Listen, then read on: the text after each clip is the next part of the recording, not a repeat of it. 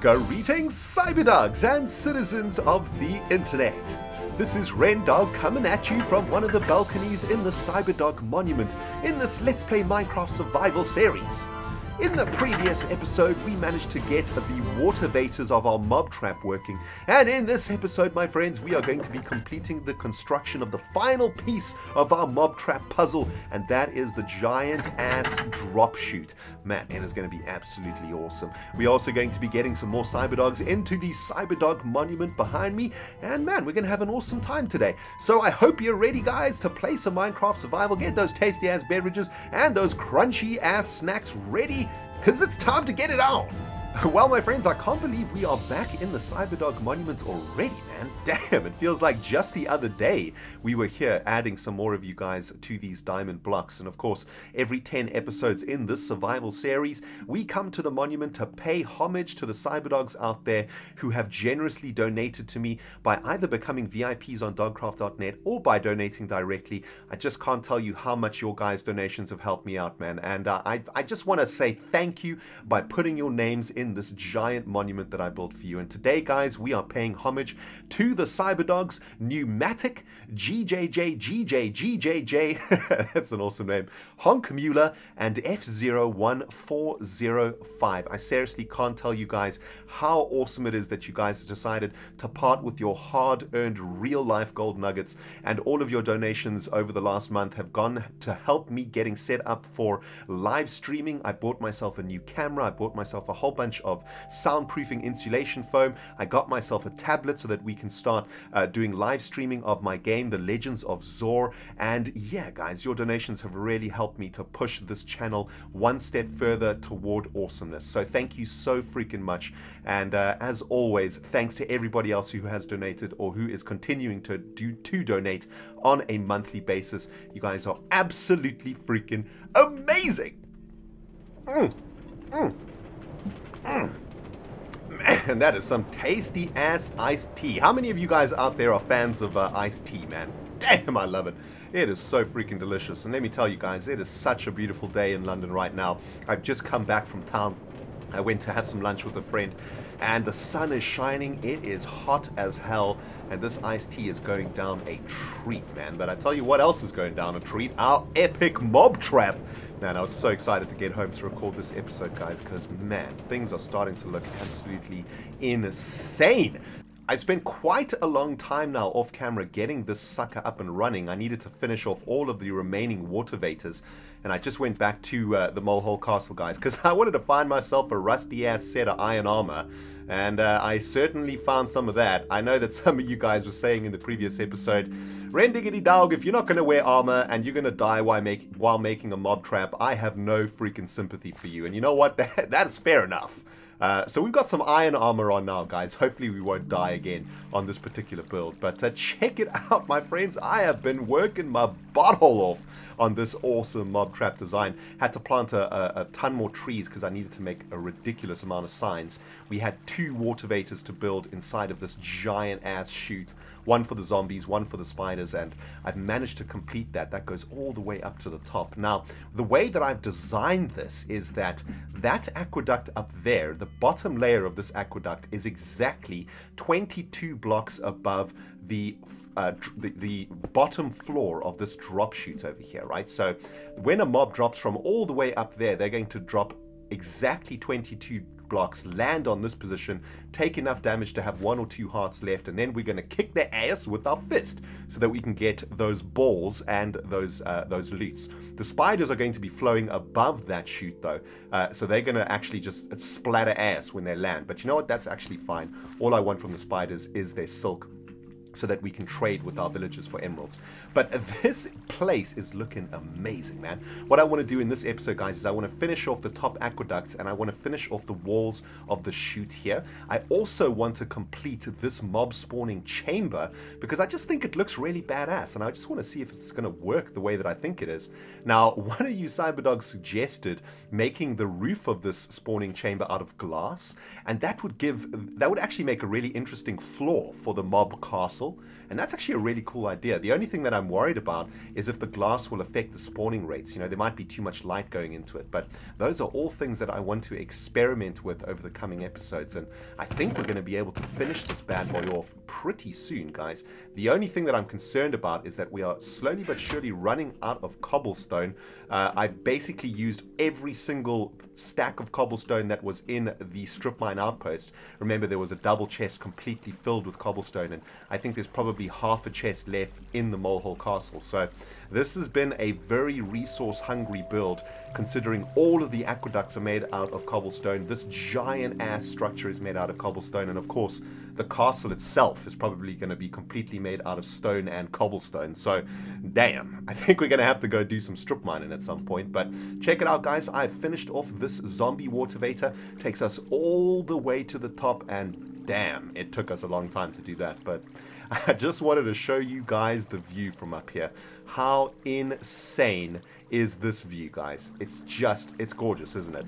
You got the the uh, Nether Portal Temple in the background, the Cyberdog Monument over here, uh, the sort of beginnings of Mole City, the Lakeside Villa over there. I mean, at least the zombies are getting a good view before they uh, splatter ass, right? I mean, if I was going to die in any mob uh, trap, I would want to die in this one. And maybe we'll make it glass up here, so just so that we can be a bit more humane about the whole thing and give those zombies something to see before they splat. Now, here we are up here, guys. This is an extremely precarious part of this project because if we fall down there, we are going to die no matter what armor we have on. Um, so my pinky finger is actually straining quite hard at the moment to keep holding on the shift key. And what I want to do with you guys for the first part of this episode is complete the spider delivery aqueduct here. Let's just get some torches up here so that we don't get any spawns. Um, and then what I want to do is complete the chute and then test the sucker out. See how much XP we can get in a minute or so. Uh, you know, do some do some speed runs, which will be pretty awesome. Um, and as you can see, I've completed the water vator for the zombies. And if we go all the way up here, I've completed the... There we go. The water vator for the spiders also. And what I want to do now is just completely finish off the spider aqueduct. Of course, the spider aqueduct is just going to run... Um, hmm... I suppose it can just run like this, right? Yeah, as long as it doesn't impede the delivery of the zombies. Yeah, there we go. That's actually perfect. And we can build this up like this and we're going to be putting our water sources in these two positions one over here and one over here and that's going to push the spiders all the way in that direction. So let me finish off this aqueduct guys. I'll bring you back in a second. Well my friends I've been staring up into this beautiful night sky now for about a minute and I've just suddenly had this wave of reflection come over me man. And I've just been thinking about how amazing this whole freaking journey has been for me, man. This entire Minecraft survival series, adventure, um, I don't know what you even call it, over the last few years with you guys, it has just been the most incredible journey of my life. It, it, it is, and I'm not ashamed to say it because it is a computer game, but this this journey has been the most epic thing that I've ever done in my life, guys. And I'm just so grateful uh, for having the opportunity, not only because of you guys, the viewers watching my videos and, and all of that stuff, but as a human, having the privilege and the ability to be able to play Minecraft and make videos of it and put it on YouTube is just. It takes my breath away sometimes, you know? I'm from a country where there's a lot of people that don't have very much and they certainly don't have anything uh, like computers or internet or anything like that. In fact, they don't even have running water. And the fact that I am lucky enough as a human being to be able to make videos on YouTube just blows my mind. And uh, on this sort of special episode of this survival series, you know, we've just added some new, some more of you guys into the Cyberdog Monument. I just want to take the opportunity to to really thank, to really, really, honestly and sincerely thank all of you for the support that you've given me here on YouTube over the last few years. And uh, it's been up and it's been down, man. We, you know, it's been a, an absolutely tumultuous journey, uh, both on YouTube and in my life. And a lot of you guys have been with me every step of the way, man. You know, you guys have shared in my in my joys, in my pains, in my in my in my destructions, um, also, and it's just been the the privilege of my life to be able to have done this with you guys. So. Yeah, you know, I've been, a, I'm, I'm just having a moment, okay, guys? I'm just having a freaking moment because I'm just so incredibly happy today. Um, incredibly happy with life, incredibly happy with with everything that I've got, and incredibly happy with the progress that we are making in this survival series. And you know what, guys? This is this is a let, let's get real with one another today, right? Let's let's spend a little bit of time while I finish off making these aqueducts. I want you guys to to be honest with me. How have you guys been enjoying season four of this Minecraft survival series? If there's anything you like you would like to have done differently, let me know, man. Are there parts of season three that you guys are perhaps not happy with? You think that I can improve on? Can be anything, man. It can be sound, can be music, can be freaking anything. Let's get let's get honest with one another so that we can make the best freaking Minecraft survival series that we can possibly make together. Um, and for some reason, I can't get this water to go all the way to the edge there. Let me try one more time. But you know, I've always uh, really appreciated the feedback that you guys uh, give me. And this is your chance to let me know in the comment section below, guys. I'm going to be reading every single freaking comment of today's video. What have you guys liked about Season 4? What have you not liked about Season 4? What would you like to see in Season 4? And uh, yeah, I, would, I, I, can't wait to read your comments, guys. And please, do not feel shy. Do not hold back. If there is something bugging you about Season 4, let me know, man, because I am a listening and I want to do everything that I possibly can to make the best series possible for you guys. It's the least that I can do for all of the support that you have given me over the last few years. Alright my friends, it is time to place the final seal over the spider delivery aqueduct. Man, I hope this thing has been set up correctly. Uh, it, it, looks like it has. I'm pretty sure I've done it properly, but there we go, man. That is looking absolutely insane, right? So we've got the spider spawner working, we've got the zombie spawner working. Um, what I do want to make sure, though, is that these chutes are actually the correct thickness. Um, so what I'm going to do is just add a water vator down here. Oh my goodness, alright, this is going to get kind of scary. Um, let's just go up here, let's have a look. Is this spider spawner set up correctly? No, it's actually not. What we need to do is one block here, one block here. We need to seal this off here so that the spiders are uh, have to go through an aqueduct that's only one block uh, high. So there we go, let's get back into the water vator to finish this off. This, this is the scary bit, guys.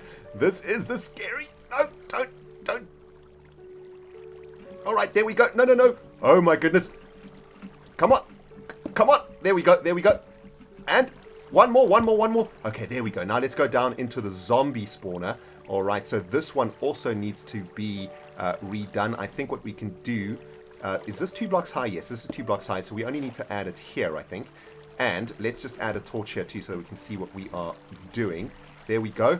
Now let's complete the wall of the zombie aqueduct or the roof of the zombie aqueduct rather. Um, there we go.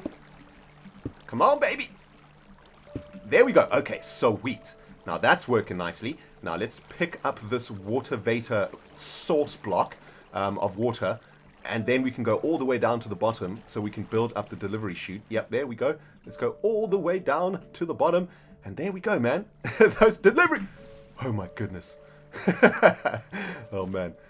There we go. So the delivery aqueducts are done. I think what I'm going to have to do is add some slabs to the top of, of that aqueduct so that uh, nothing spawns on top of it. But we are now ready actually to complete the next step of this project and that is completing the actual delivery duct itself. And I think, well, I hope we have enough cobblestone for this. We only have a very few stacks left. Um, hopefully, I can get this jazz finished. Let's start going, guys. I'll bring you back in a second, and hopefully this will go all the way up to the top. Well, as I suspected, Cyber Diggity Dogs, this is the last of the cobblestone in the entire Rentopia Kingdom. this build has basically sucked up every single cobblestone block that we've got right now, which is absolutely crazy. I hope this is going to be enough to finish off at least what we want to do today. Um, but yeah, guys, I've been working a little bit on that delivery chute. It is basically finished now, and while I've been working on that, on that, I was actually thinking about something else that I wanted to talk about with you guys, and you know, we were just talking earlier about uh, season four and how you guys feel about season four and if you've been enjoying it. And what I've realized is that I need to say thank you to another group of people that I haven't mentioned yet. And I need to say thank you to these people because I truly believe that meeting these people has changed the way that I play Minecraft and has improved the way that I that I play Minecraft and has basically taken this series to another level. And that is of course my fellow Kingdom Crafters. And uh, some of you guys know that I'm playing on a on a, a Minecraft Survival SMP server called Kingdom Craft with Python GB, iskall85, Cubfan135, Krillic, and Bevo LJ. And since I've been playing on that server with those guys, the world of Minecraft has opened up to me, man. Because those guys are, you know, they have taught me things about Minecraft that I never freaking knew.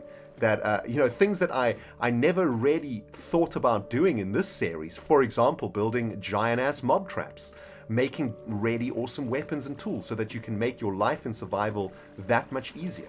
All of these things I have learned this year playing on the Kingdom Craft server. And you know what?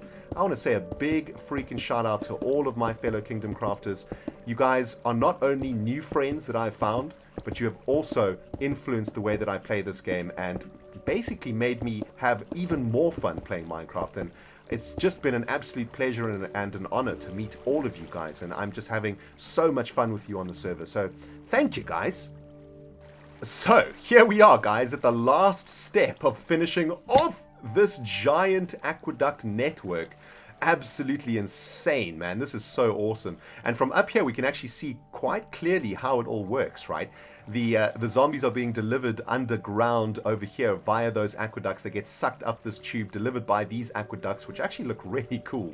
They then go underground again and then get sucked up this giant chute, only to be delivered to their death via this giant drop chute over here. Really, really sweet, man. This build has come together so nicely. The only thing that concerns me about this build right now is how ugly it is. Um, and I have no idea how we're going to make it look awesome. It's going to take a, a long ass time, I think, and a lot of crafting. But I do want to make this this place look absolutely awesome as well as function as well as possible. So don't worry, guys. I'm going to try my best to do that. Now, some of you guys might be saying, Ren Diggity Dog, there is an OCD fail over here because your chutes are two blocks wide and there's another block wide over there and the drop chute is actually three blocks wide. What in the jazz is going down? Well, I've done this on purpose because I want the delivery area down there to be three blocks wide. It's just so that the mobs don't cram up too much and start glitching out. So there is actually method to that madness, guys. Don't you worry about it. I also know that what we need to do is complete this little connection over here. It's currently slightly unsymmetrical, um, and I will definitely do that once we get to the aesthetic side of this build. For now, what I want to do, guys, is get some slabs on top of the roof here so that we can stop the spawning. And then I want to go down and complete that mob chamber. Alright, welcome back Cyberdogs. I have just added the roof to our mob spawning chamber. It is looking kind of badass in here, man. Hopefully there's going to be a ridiculous amount of spawning going on in here.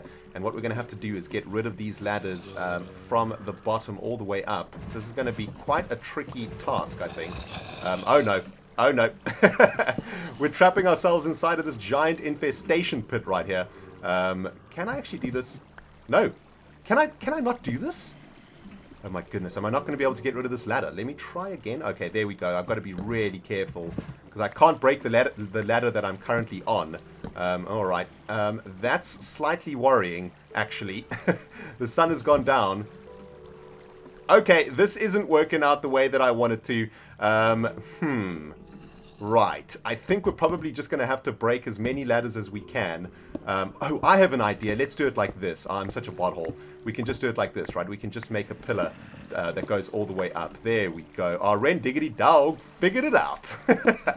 oh man, that is a win. I hear a whole bunch of zombies already making a whole bunch of noise. So that's exciting times. Let's just get some torches around here too um, because it is nighttime. I kind of want to leave it nighttime though. Check it out, there's a zombie. There's a zombie being delivered. All right, that's epic. Um, okay, so we should start to see some zombies falling into our test pit over here, which is excellent, but I actually think that they might be able to get out. Yeah, so let's seal that off like that. And I also need to seal off, um, yep, Checky's bringing me the ladder. Oh, thanks, bro. Thanks. That, that's very kind of you, man. We also need to seal this sucker off also. So let me get this done quickly, guys, and then we can start doing some testing.